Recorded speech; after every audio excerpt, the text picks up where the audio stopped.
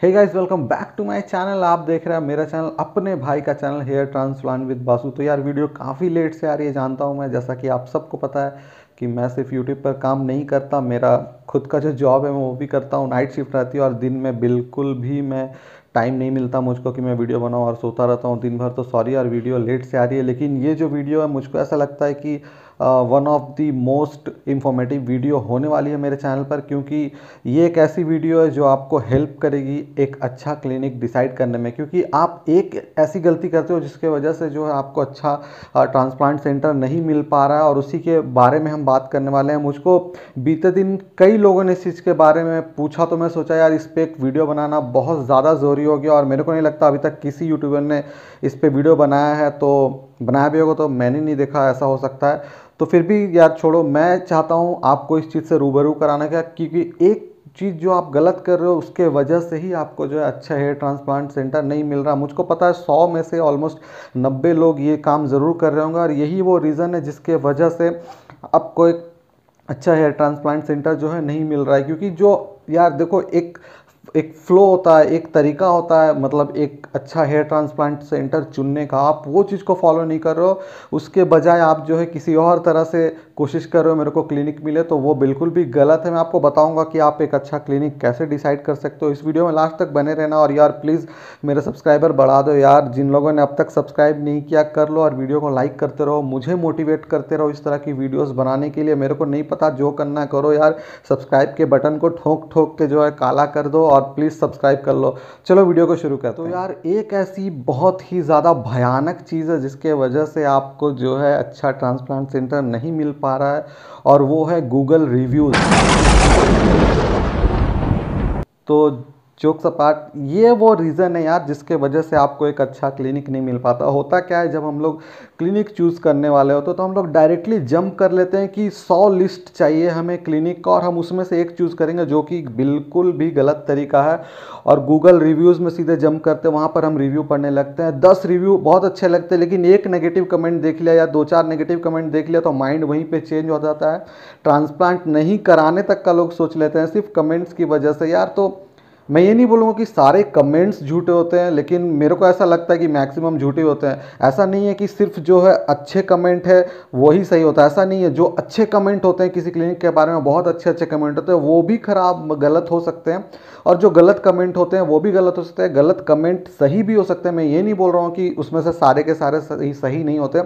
लेकिन ये जो तरीका है एक अच्छा क्लिनिक चूज़ करने का तरीका नहीं है इससे होता क्या है ना कि जब इनिशियल डेज़ में हम किसी क्लिनिक के बारे में हमको मान लो यूट्यूब से भी पता चल रहा है, किसी और ज़रिए से पता चल रहा है तो उसके बाद हम लोग जाते हैं गूगल रिव्यूज़ पढ़ने के लिए। दस कमेंट अच्छे लगते हैं, लेकिन अगर दो चार गलत दिख गए तो भाई वहीं पर मन बदल जाता है। और फिर हम लोग एक के बाद एक क्लिनिक एक के बाद एक क्लिनिक सर्च करते थे, सौ क्लिनिक देख लेते हैं, लेकिन समझ में नहीं आता डिसाइड नहीं कर पाते हैं कि जाना कहाँ है। यूट्यूब पर इतने बंदे ऑनेस्टली रिज़ल्ट दिखाते हैं, अपना नहीं, दूसरों का भी दिखाते हैं। बहुत सारे लोग, मैं अपनी बात नहीं कर रहा हूँ, काफ़ी सारे ऑनेस्ट यूट्यूबर ऐसे हैं जो अभी हेयर ट्रांसप्लांटेशन के रिगार्डिंग दूसरे के रिज़ल्ट दिखाते हैं। आप वहाँ फॉलो करो। अपने केस से उनका केस मैच करके देखो कि आपको कौन सा बेटर लग रहा है। रिज़ल्ट कहाँ के अच्छे लग रहे हैं? आपके केस से जो मिल रहा है किसी का केस उसका रिज़ल्ट कहाँ पे अच्छा आया है? वहाँ से डायरेक्टली फॉलो करो यार। यहाँ से जा कर के मैं बता रहा हूँ, बिल्कुल भी नहीं ढूंढ पाओगे। आप एक अच्छा क्लिनिक इनिशियल डेज़ में जब मैं सर्च करता था तो मैं भी कहीं ना कहीं इसी तरीके से जा रहा था, लेकिन बाद में मेरे को रियलाइज़ हुआ, यार, अगर इस तरह से चलेंगे तो कभी कोई क्लिनिक नहीं मिल पाएगा और किसी क्लिनिक पर हम लोग ट्रस्ट नहीं करेंगे। देखो हेयर ट्रांसप्लांटेशन एक ऐसी चीज़ है ना, आप खुद से अपना तो कर नहीं सकते हो। तो ज़ाहिर सी बात है आपको दूसरे पे ट्रस्ट करना ही पड़ेगा। आप ये चीज़ को मान लो अच्छे से ठीक है? दिमाग में बिठा लो कि बिना ट्रस्ट किए हुए आप ट्रांसप्लांटेशन नहीं करा सकते हो। बात आती है कि एक अच्छा हेयर ट्रांसप्लांट सेंटर हम कैसे चुने? देखो सबसे पहले तो यार आपको डिसाइड करना है कि आपका जो बजट है वो कितना है ठीक है? आप लोग गलत तरीके से जो है ना क्लिनिक डिसाइड कर रहे हो। क्लिनिक का सर्च इस तरह से नहीं होता। पहले आप अपनी पॉकेट देखो कि आप कितना खर्च कर सकते हो अपने हेयर ट्रांसप्लांटेशन पे ठीक है? ज़रूरी नहीं है कि कोई एक लाख डेढ़ लाख खर्च कर सकता तो हर बंदा कर सकता। मैक्सिमम बंदे जो है मिडिल क्लास और upper middle class lower middle class आते हैं तो वो इतना ज़्यादा जो है खर्च नहीं कर सकते। तो सबसे पहले खुद से पूछो कि आप कितना जो है खर्च कर सकते हो अपने ट्रांसप्लांटेशन पे और, और उसके ज़रिए ही उसके ही आ, अनुसार जो है आप अपना क्लिनिक चूज़ करो ठीक है? गूगल रिव्यूज़ को बिल्कुल मत फॉलो करो भाई, मैं यही बोलूँगा। वहाँ से आपको कुछ भी मतलब मेरे को नहीं लगता इतना ज़्यादा हेल्प होने वाला। अगर आपको हेल्प लेना है तो आप प्लीज़ जो है यूट्यूब पर ही देखो, क्योंकि यूट्यूब पर बहुत ऐसे बंदे हैं जो दूसरों का भी रिज़ल्ट दिखाते हैं, अपना दिखाते हैं। तो यहाँ से आपको एक अच्छा लीड मिलेगा। आप देखो किस क्लिनिक का रिज़ल्ट अच्छा लग रहा है, ठीक है? और अगर आपके पॉकेट में वो फिट हो रहा है, अपने केस को दूसरे के केस से मिला करके देखो हाँ इस बंदे का यहाँ से अच्छा रिज़ल्ट आया है और इसका जो है कॉस्टिंग भी मेरे को मैच कर रहा मैं इतना जो है खर्च कर सकता हूँ तो बेझिझक वैसे क्लिनिक में जाओ। होता क्या आप दस अच्छे कमेंट पढ़ लेते हो, एक खराब कमेंट पढ़ लेते हो, उसके वजह से आपका माइंड चेंज होता है नेगेटिविटी आने लगती है। और हेयर ट्रांसप्लांटेशन में भाई नेगेटिविटी का मतलब एक कतरा भी आ गया तो आप मतलब जब तक आपका रिज़ल्ट भी कंप्लीट नहीं आ रहेगा ना, आप हर वक्त इस डाउट में रहोगे कि क्या जहाँ से मैंने करवाया, वहाँ से सही है कि नहीं, उसकी वजह से स्ट्रेस होगा। स्ट्रेस की वजह से और ज़्यादा हेयर फॉल होगा। तो ये चीज़ बिल्कुल मत करो यार। अगर आपको एक अच्छा क्लिनिक चाहिए, आप पहले अपना बजट डिसाइड करो, उसके हिसाब से क्लिनिक ढूंढो। क्लिनिक कैसे ढूंढोगे? यूट्यूब पर बंदे रिज़ल्ट दिखाते हैं, ठीक है? वहाँ से आप मैच करो, आपको जहाँ अच्छा लगता है, जहाँ के रिज़ल्ट आपको ज़्यादा अच्छे लग रहे हैं, वहाँ पे बिंदास जाओ, दूसरों का रिज़ल्ट अच्छा आ रहा है डेफिनेटली आपका भी रिज़ल्ट अच्छा आएगा। इतनी सोचने वाली बात नहीं है, क्योंकि यार ये देखो, एक ऐसी चीज़ है कि बिना भरोसे किए तो आप करवा नहीं सकते हो किसी क्लिनिक से। किसी न किसी न किसी क्लिनिक पे तो ट्रस्ट करना ही है, जहाँ के रिज़ल्ट आपको लगते हैं कि यहाँ के रिज़ल्ट हाँ वाकई में बहुत अच्छे हैं, वहाँ पे जाओ और ये रिव्यूज़ रिव्यूज़ और ये कमेंट के चक्कर में मत पढ़ो अब आपको पता है कि मैं कोई भी इलॉजिकल बात नहीं करता तो अगर मैं आपको मना कर रहा हूँ कि रिव्यूज़ पे इतना ध्यान मत दो तो क्यों कर रहा हूँ? इसके लिए मैं आपको ले जाऊँगा अपने फ़ोन के स्क्रीन पे और चलो वहाँ पर हम लोग बात करेंगे। मैं आपको कुछ बताना चाहूँगा, कुछ दिखाना चाहूँगा, उसके बाद आप सोचना कि क्या जो बासु भाई बोल रहे हैं वो सही है या नहीं, आप खुद ही उसके बाद डिसाइड कर लेना, ठीक है? तो चलो अपने मोबाइल की स्क्रीन पर चलते हैं। तो भाई इससे पहले कि मैं रिव्यू पढ़ूँ, मैं पहले ही क्लियर कर देना चाहता हूँ कि एक नॉन स्पॉन्सर्ड वीडियो है। मुझको कुछ बोलने के कोई पैसे नहीं मिल रहे हैं, ठीक है? ये मैं सिर्फ़ आपकी हेल्प करने के लिए कर रहा हूँ, ठीक है? वरना मेरे को इस चीज़ में कभी कोई इंटरेस्ट रहा ही नहीं है। लेकिन अब जब इतने लोग सामने से आकर इस चीज़ को बोल रहे हैं और मतलब बहुत ज़्यादा कंफ्यूज हो रहे हैं रिव्यूज़ को लेकर के तो मैंने सोचा कि मेरी रिस्पॉन्सिबिलिटी है कि इस चीज़ के बारे में लोगों को समझाऊँ कि एक अच्छा क्लिनिक कैसे चुनना है। तो दूसरे क्लिनिक्स के रिव्यूज़ नहीं पढ़ूँगा और एक दो ही पढ़ूँगा ज़्यादा नहीं। मेरा मेन मोटिव बस आपको समझाना है कि आ, मतलब क्या आप चीज़ आपको नहीं करनी चाहिए। तो मैं ज़्यादा रिव्यूज़ नहीं पढ़ूँगा मैं आपको बस एक ये रिव्यू पढ़ने वाला हूँ और इसके बाद एक और पढ़ लूँगा ठीक है? तो चलो ये भाई ने आ, ये वहीं का रिव्यू जहाँ से मैंने करवाया है ट्रांसप्लांट तो वहीं कहीं पढ़ते हैं क्यों दूसरे क्लिनिक का पढ़े वरना करके वो मुझको मारेंगे। तो अच्छा है कि मैं इसी यहीं कहीं पढ़ूँ ठीक है? तो यहाँ पर एक भाई ने लिखा है one of the one of worst fraud clinic ठीक है। Completely money minded for money they are ready to do anything and बहुत कुछ लिखा है, उतना ज़्यादा डिटेल में नहीं जाते। आप खुद भी जो है जा करके चेक करके और पढ़ सकते हो, ठीक है। तो रिस्पॉन्स में का क्या कहना है, वो देखते हैं कि first of all we if we are Hindi में पढ़ता हूँ क्योंकि जो बाकी भाई हैं, उनको हो सकता समझ में नहीं आया तो बेटर है कि हिंदी में ही पढ़ूँ। तो इन्होंने लिखा कि सबसे पहले तो बता दें कि अगर आप मनी माइंडेड होते तो दस रुपये पर ग्राफ चार्ज नहीं करते और उसमें आपका खाना, पीना, रहना टेस्ट वगैरह पीआरपी ये सब चीज़ें इंक्लूड नहीं रहती, जो कि लोएस्ट है in the country lowest price है।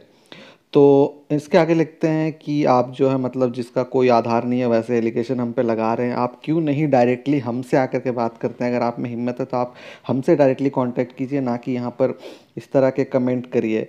तो अब देखो, इन भाई का जो है यहाँ नीचे देख लो, किसी तरह का कोई रिप्लाई भी नहीं आया, ठीक है? अभी तक आप देख सकते हो, यहाँ कमेंट खत्म हुआ, कोई रिप्लाई नहीं दिया इन्होंने। तो अधिकतर most of the negative comments ये इस बात का फिर से मैं आपको बोल रहा हूँ कि ज़रूरी नहीं है कि सारे नेगेटिव कमेंट गलत होते हैं, लेकिन मेरे को ऐसा लगता है कि कई सारे नेगेटिव कमेंट जो होते हैं, गलत होते हैं, ठीक है? और आपको पता है यार ऑनलाइन कई सारे ऐसे भी जॉब होते हैं जहाँ पर दिन भर बैठ को आपको सिर्फ़ प्रोडक्ट रिव्यू करनी होती है और उसके आपको पैसे मिलते हैं, ठीक है? ऐसे भी जॉब्स हैं मार्केट में। तो मैं बोलूँगा कि इस चीज़ से कंफ्यूज नहीं होना है तो चलो एक और रिव्यू पढ़ते हैं हम लोग, ठीक है? तो चलो एक और है, इसको पढ़ते हैं, आपको थोड़ा आइडिया हो जाएगा।